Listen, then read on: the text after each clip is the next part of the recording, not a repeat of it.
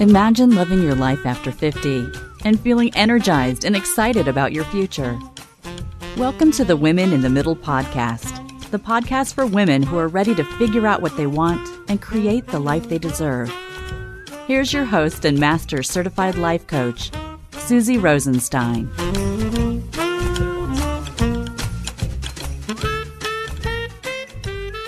Hey there, in today's episode, we're talking about the trials and tribulations of long term relationships. Let's go. Welcome back to the podcast Women in the Middle with over a million downloads and counting. I'm your host, Suzy Rosenstein, your master certified life coach and midlife mentor. And once again, I am so glad to be here with you.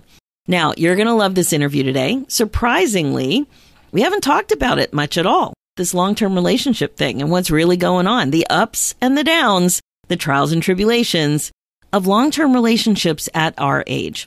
Seriously, if you're a typical listener and you're in a long term relationship, you likely have been together with your partner or spouse now for more than 20 years, maybe even 30, maybe more. that is something. I myself have been married almost 29 years. Fun fact my husband and I met the old fashioned way through a personal ad where you had to write a letter to a P.O. box at a newspaper. No swiping back then, no apps, no smartphones, nothing like that. Most of you also know people who've been married a long time and also people who have not. And like I said, it's really something like when I, I do have a couple of friends who were high school sweethearts and they're still married. That, that's, I don't know how else to say it. It's really something.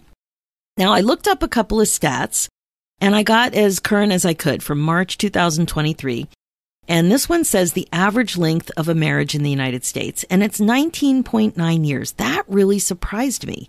So it also says that while the national average marriage length is just under 20 years, couples in two states, Maine and West Virginia, typically have the longest lasting unions.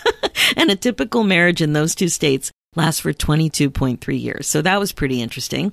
Then the other stat I wanted to share is this one. It's about baby boomer divorce rates. Now, baby boomer divorce rates have risen dramatically over the last 30 years. I don't know if you've heard of gray divorce. I actually did, now that I'm thinking about it, I did a podcast on gray divorce years ago, so I'll link that in the show notes. But a so called gray divorce, that's like a later in life divorce, with adults 50 plus, um, that national divorce rate has roughly doubled since 1990. So for those age 65 plus, it's actually tripled from two in 1,000 married persons. that's funny how you read a stat. Two in 1,000 married persons to 6 in 1,000. So this indicates people over 50 are more likely to get divorced now than ever before. That's why I wanted to shine the light on this other side of long-term relationships. So I think it's pretty interesting stuff, and I thought it was time to bring in an expert. Also, just quick, I want to make sure you know about a free gift that I have for you called Top 10 Questions to Reimagine Your Life After 50. So ask yourself, is your life feeling a little blah lately? Do you know you're meant for more, but don't know how to get there?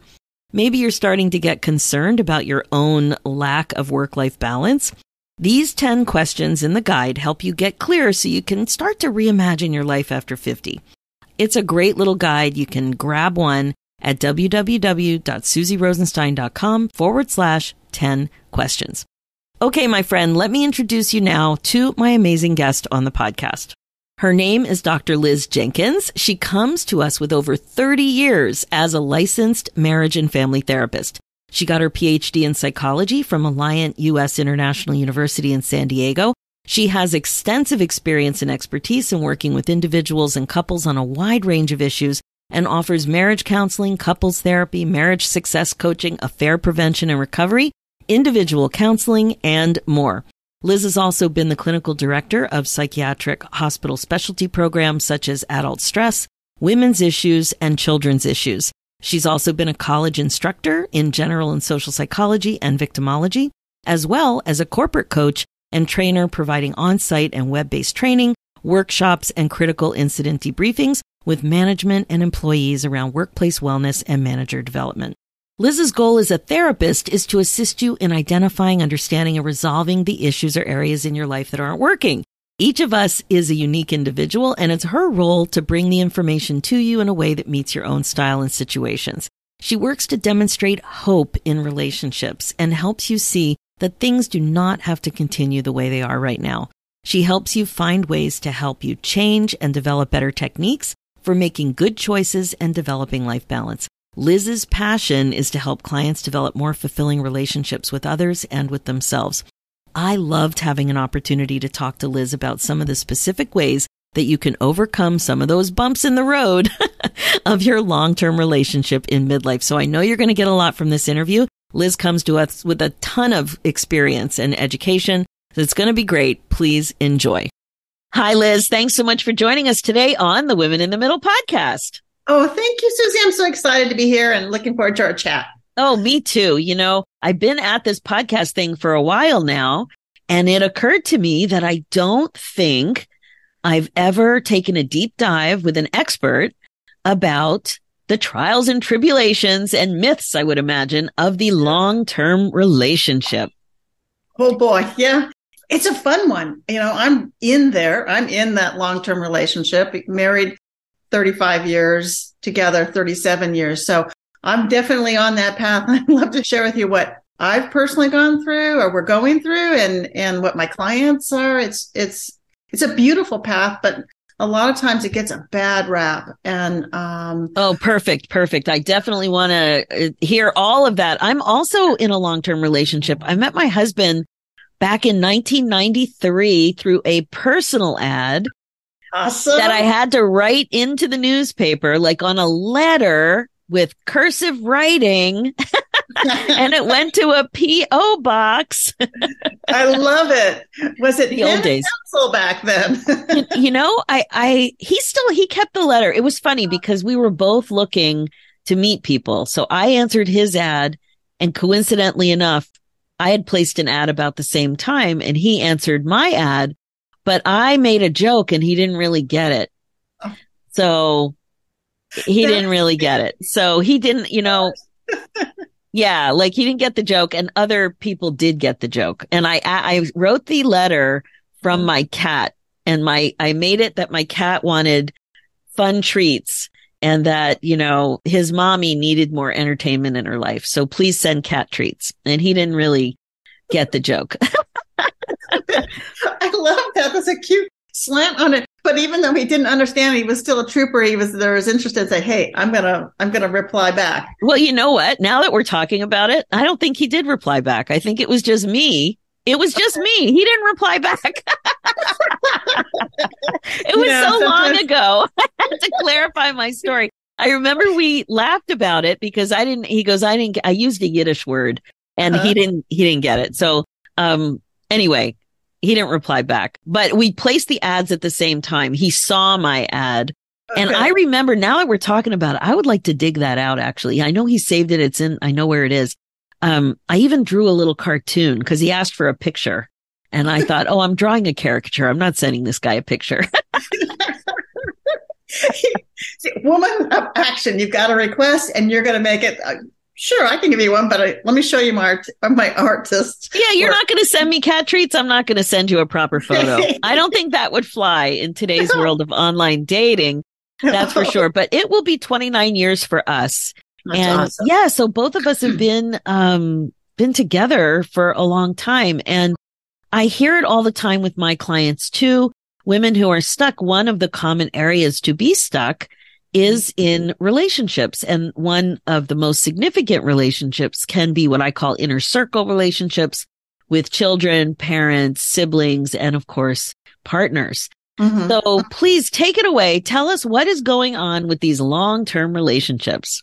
Okay. Well, and I love it. And it really are, you know, relationships really are the basis for success in our growth, like in business as well as um, in our personal world because when this isn't right, um, you know, it bleeds through with other things. And and you you mentioned you know the the circle relationships, and oftentimes what I find us long term relationships or it's we're actually like that sandwich generation. We are stuck between. We have luckily um, aging elderly relatives, family members, eh, type of thing that we're having oversight on, or we feel that tug too as well as we have children, even adult children, minor adult children. There's still that vibe and that energy that we want to stay connected, but we're like negotiating and how does that look as yeah. we get into that, that midlife? Um, I remember back when the kids were young, I said, Hey, look, this is my first time parenting. Cubby is, I'm sorry, I'll try again. And I still use that, you know, disclaimer when I'm, you know, trying to stay involved with the, with our, um, adults. They're, they're adult daughters. They're wonderful. But the common themes that I see with long-term relationships is that there is this myth, or this cultural myth that um, you're lucky if you get to that point.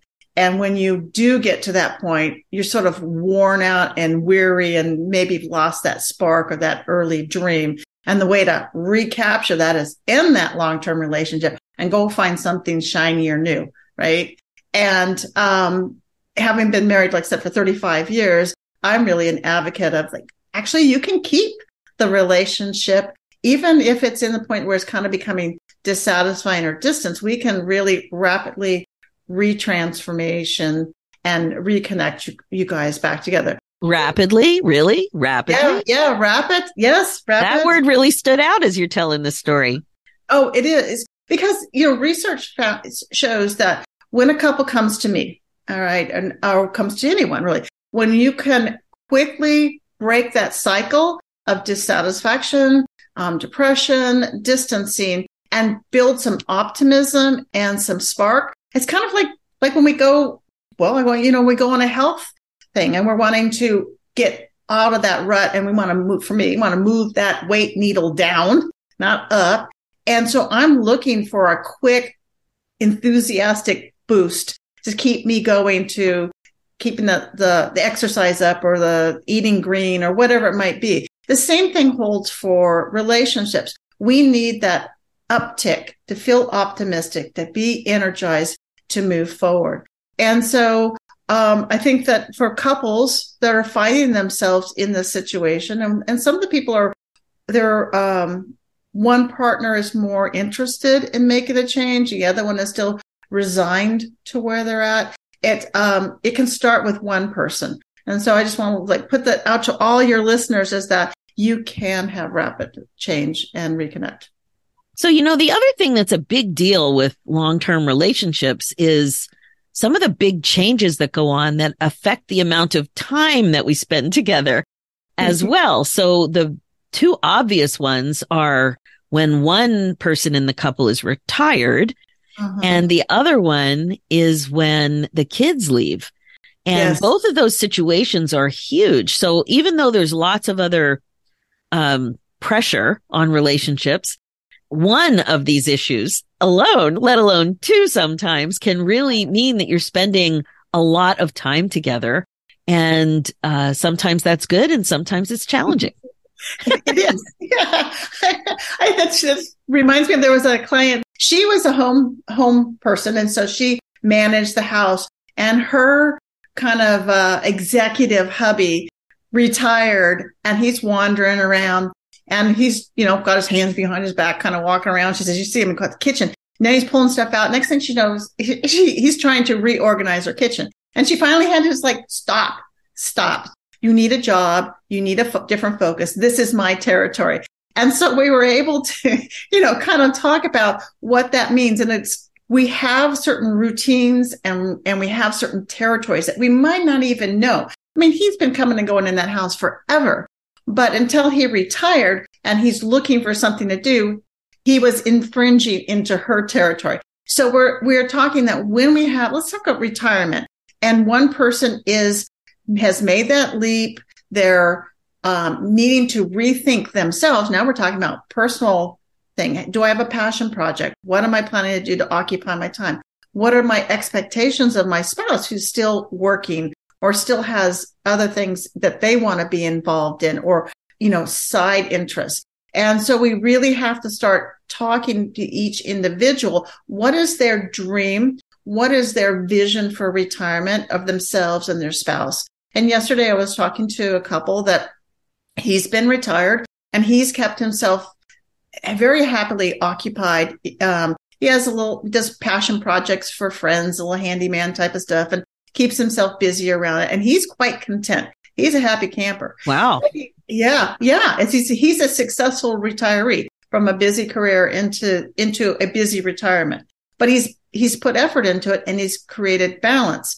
Um, and so he posed the question just last weekend with his wife and said, okay, when are you planning to retire? And for her, there was a little bit like, oh, pressure, you know, deer in the headlights. And she reluctantly and then kind of half-heartedly said, in a year. So she's got, she's got the time stamp out there. And so we started talking about what that's going to look like. And she says, I'm actually already having sweaty palms and anxious about who am I? What am I? So right. we talked, you know, one of my um, successful retired uh, clients created a visual um, a tracking system. They took these jars. They were they had five years, but for her, she's going to do one year. And she put these beautiful 12 stones in there for each year, one for each month rather. And then each month she would move it to another jar. So she started tracking and staying more intense, intentional and not letting it, it sneak up on her. Right now, their homework as they're doing some, what are the bucket list things? What would she like to do? actively with her brain and her expertise to not feel like she's just going to sit at home. Because we know when you retire or if you retire and you do nothing but sit in your house, you lose your friendships, you lose your support, you lose your sense of identity, and we don't age as well. Yeah, um, for sure. And the other thing is that retirement doesn't have to look one way. Like it's not like the sitcom situation that we grew up with where we all kind of had the same idea of right. what a 50 year old woman looked like, what a 60 year old woman looked like, what retirement looks like. Mm-hmm. And it's not that way at all anymore necessarily.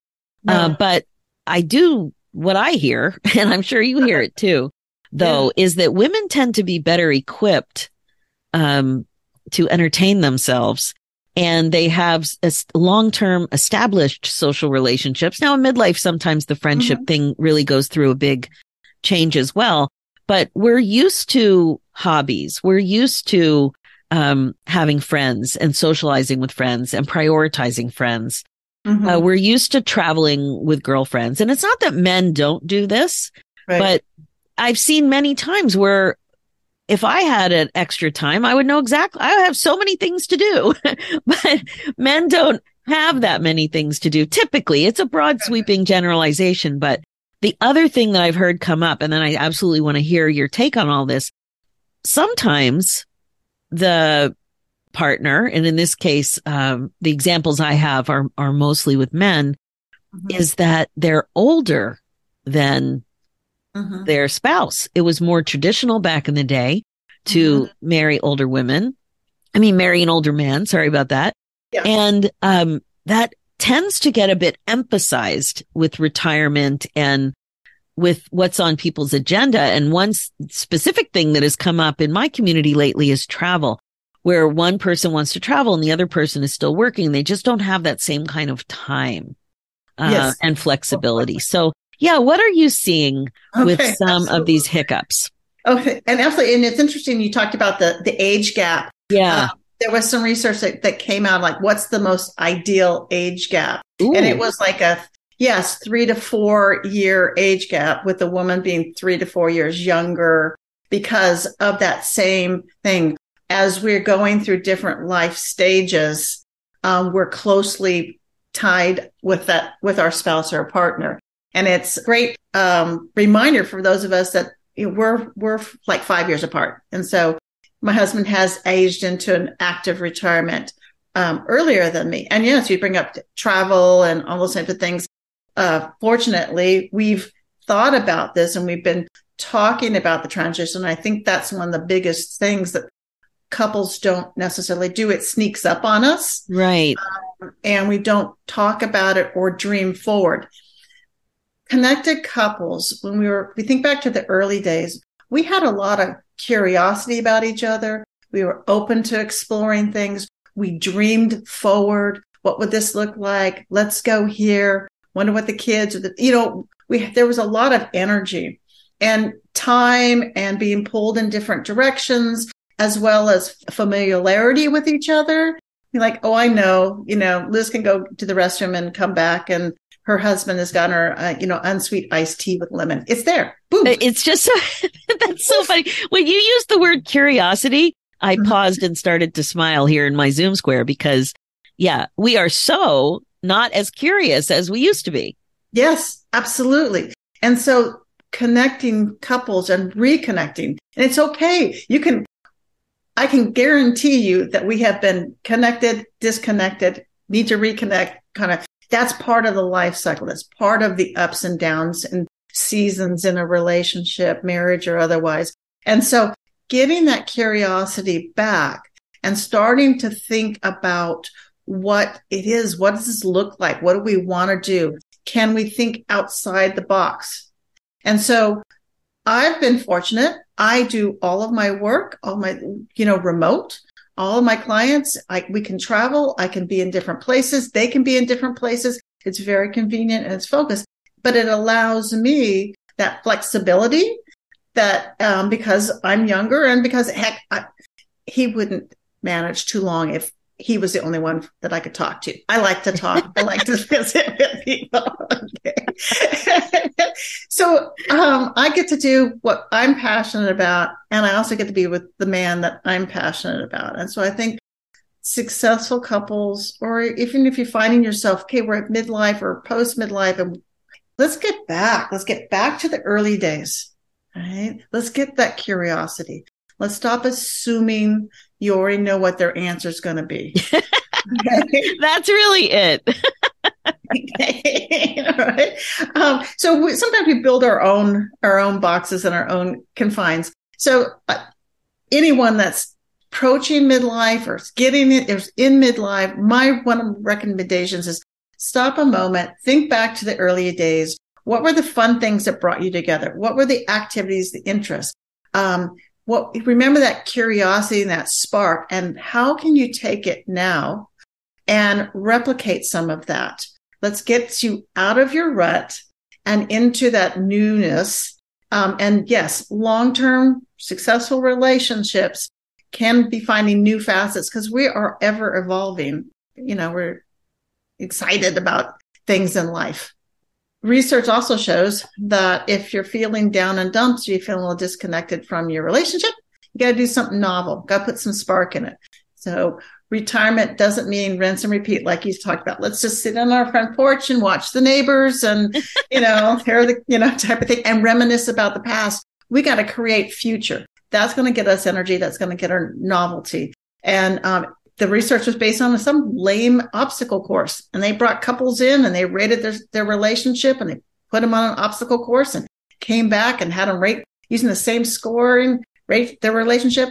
100% of those people rated more fun more excitement and more um i'm going to say passion about their relationship. Oh liz that is that is so great. I love that was it was just an obstacle course and had such yeah. a big result. Yeah. But you know, it's really the same thing about being stuck in any part of your life. So many of us describe the stuckness as uh, yeah. feeling stagnant. And if you really think about what does stagnant mean? It means no change, mm. no change, no challenge, nothing new.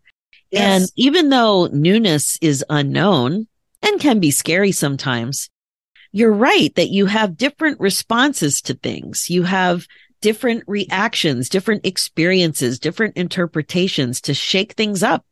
Mm-hmm. And it's so important. I always say if you if if you don't change anything, nothing will change. Like Yes. Something has to change. Yeah. Yeah. and that's funny that you mentioned that because last year, my husband's an avid surfer. He's surfed for years. We have seven, eight boards and we're in we're in Texas right now, so he's landlocked.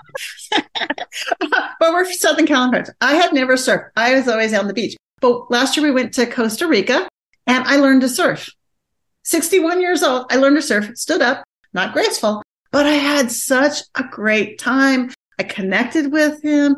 He was so impressed. I mean, we had a great time, and we're going back again. All right. So it is. You get unstuck, and it can be something as simple as a you know, taking a different route home. If you're foodies and you're have a place, start picking a list of random places that you'd like to visit for, for lunch. You know, you got on a budget, lunch, appetizers, whatever, um, and hit them up. That newness and that novelty it just a little bit turns up the dial for you. Oh my gosh. Yeah. We did something like that. And now that I'm, now that you're mentioning it, it really was fun. So sometimes we pick a, a, a type of food and I live in a big city where food is great. Mm-hmm. Um, so one time it was like, let's find, let's explore hamburgers. and so we went to all these different hamburger places. We were able to compare them, you know, one time we did it with the, with the ramen noodles. We did that once, right? Cause there's so, so many places. And uh, what was another one? Oh, one time they did one I wasn't that into, but it turned out to be fun. They wanted to compare fried chicken. I, I have, I have, there's a lot of men in this family. They do enjoy barbecue. So, um, anyway, and I, I posed a question recently. I'm like, why don't we explore vegetarian places? and I, I'm not a vegetarian, but I love vegetarian food. And I just wanted mm-hmm. to see the reaction because my husband's always posting the 10 best restaurants for this, the 10 best restaurants yeah. for that. And then it was crickets. And I thought, I wonder what's going to happen. and then a few more minutes went by and he found one 10 oh, best vegetarian. There we go. but you're right. Even about eating out, you go to the same places. Mm-hmm. And there is some comfort in that. And there's some neighborhood feel to that. You know, when the pandemic started, I uh, saw one of my friends, well, we were into the pandemic. One of my friends was posting about coffee joints and she uh, had her kids were home mm-hmm. and they challenged themselves to try a new coffee place during the pandemic where you couldn't go anywhere except drive. Okay. Right. To drive throughs around the whole city with her daughter. So oh. it was a relationship with her daughter, yeah. but still it was so fun and so new. And she went to independent coffee places all around the city. And I ended up interviewing her because I thought, oh my gosh, that is such a cool idea. And it, it was so good in so many ways. So I love that you're mentioning the things that may already be part of your life.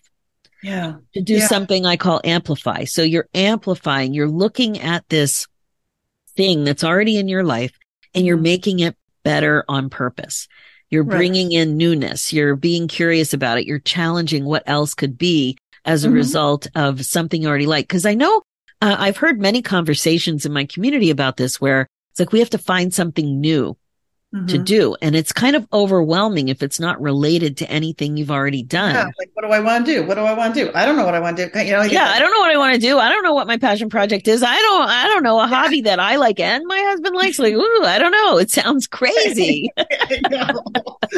so I like just sometimes looking at what you already do, like eat out and, mm-hmm.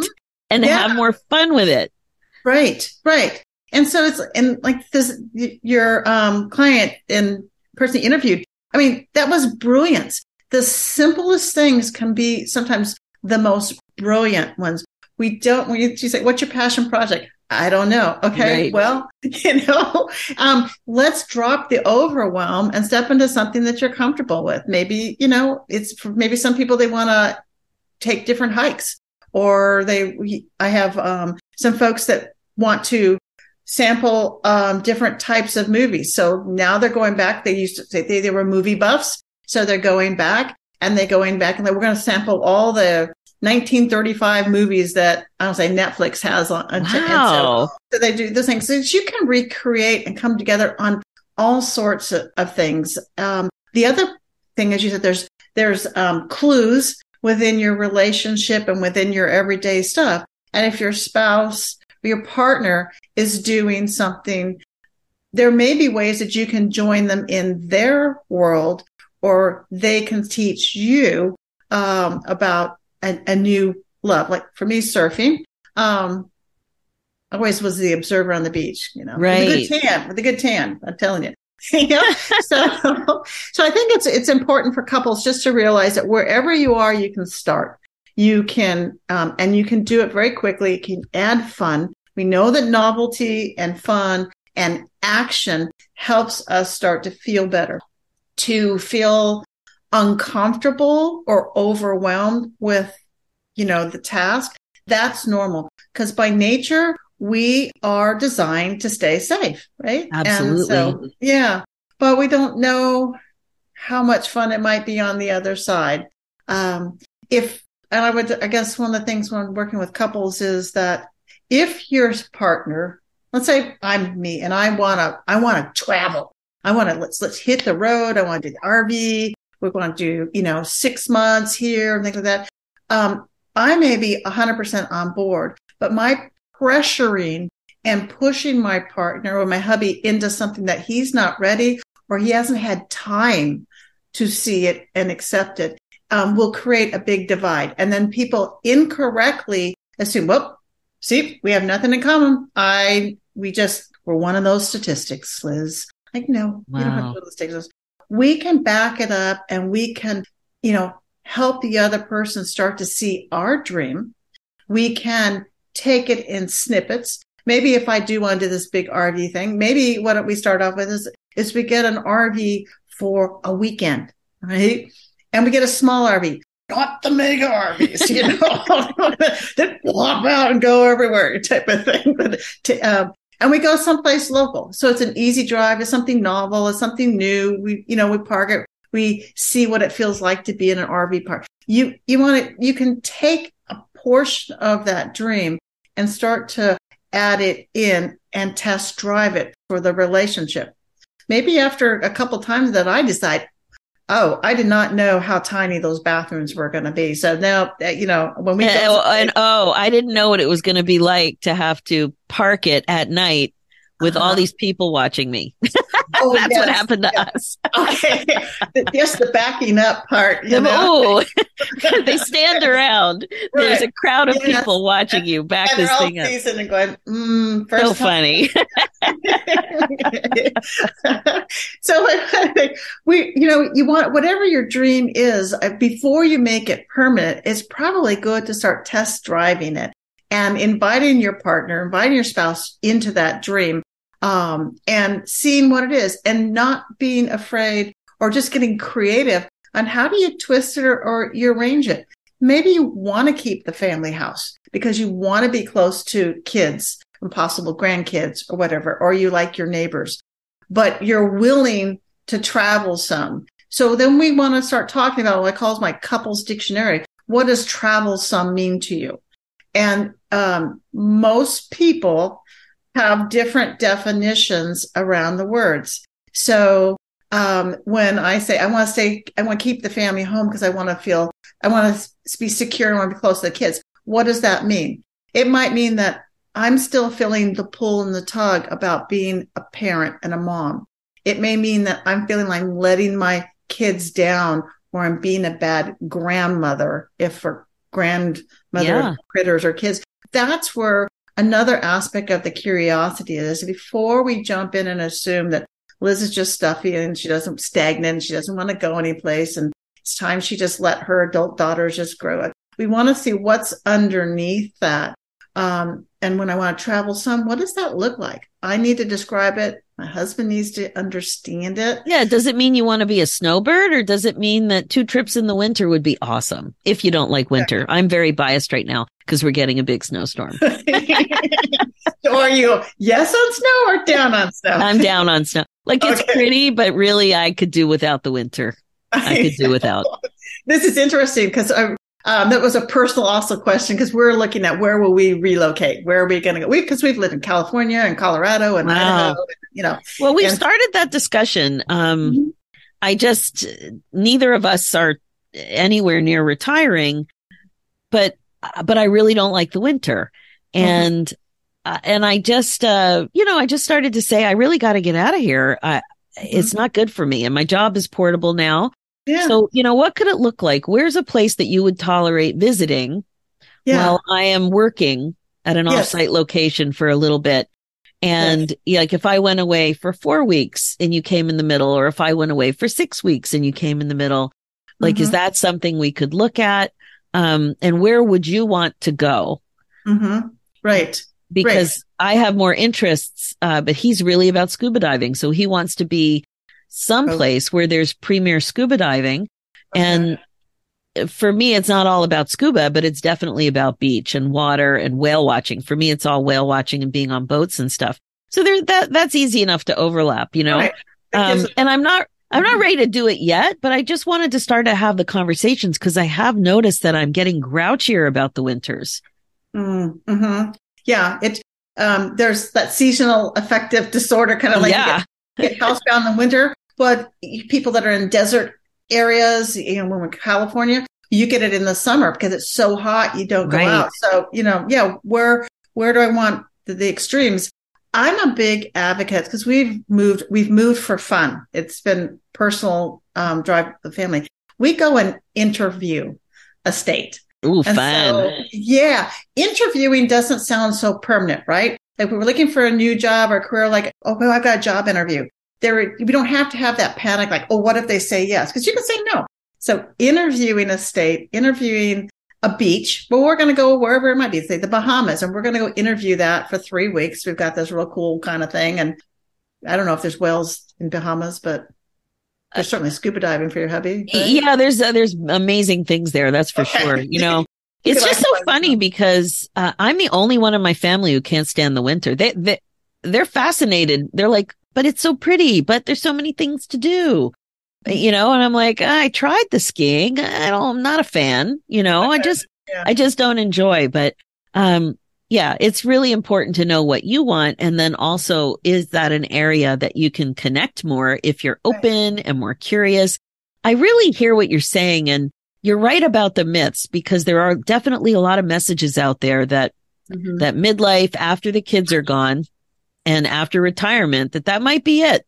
like, Right. Oh, yeah. And talk about, okay, well, shut down the bedroom because you don't need that anymore. And like, that's absolutely wrong, incorrect. You know, that is a myth that no, actually, this gets you time to reconnect, have time.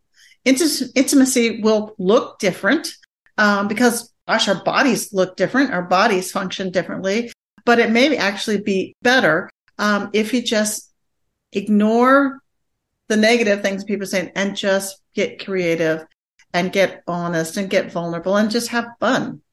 well, it's such a positive message too. Even I'm still remembering when you said rapidly at the beginning, that surprised me that even distanced and disconnected relationships can be quickly and successfully reconnected. Like, Absolutely. Yeah. wow. Oh, yeah. It's, you know, when I work with couples, we do a real quick, um, well, the, it's a couples smart restart sprint program. And I use the word sprint because I want to inject enthusiasm and optimism. Um, and it's valid. It's not ooh stuff. It's, it's hundred percent doable and, and possible because I see it every single day with my couples. Right. Um, but we get you know i get a foundations first assessment and so i get a real objective research based idea of their strengths of the obstacles or areas of, of conflict i get to see how they they show up.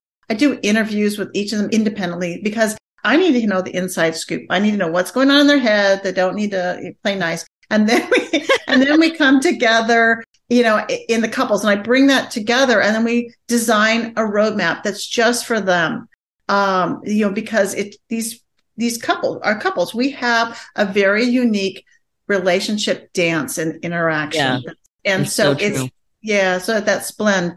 Um, and then I have other support system where they get to t- be with me with WhatsApp outside, so I can literally coach them through. You know, we had a flop, we had a fail, we're confused. I I talk to them outside of our sessions and and things, and so um, Well, I also see here that you have a freebie that's really great. What is Yeah. this free couples connection checklist? Okay. that is um it's getting you back together again.